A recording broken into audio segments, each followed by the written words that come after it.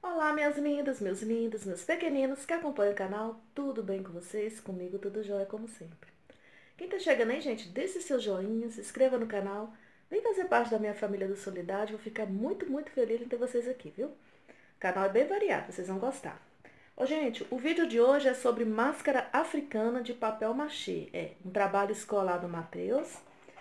Ô, gente, só que eu tenho uma notícia triste. Que a elaboração da máscara eu eh, fazendo papel machê direitinho, essa primeira parte do vídeo foi apagada, não teve como eu recuperar.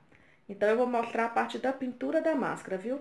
Mas ela não é difícil não. Ela foi feita com papel higiênico, cola branca e água. Aí você faz aquela massinha, modela em cima do balão, deixa secar mais ou menos de 4 a 5 dias.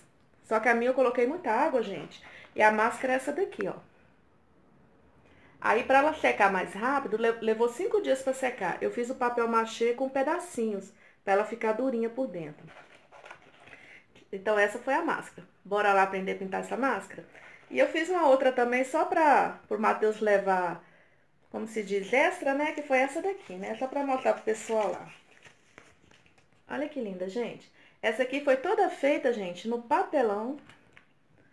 Isso aqui, ó, é negocinho de fruta com algumas bijuterias, ó. Eu só coloquei e pintei ela, tá? Essa aqui eu não ensinei a fazer, não, só tô mostrando pra vocês, tá? Mas vendo aqui, gente, é super fácil, viu? Então, a pintura é dessa aqui.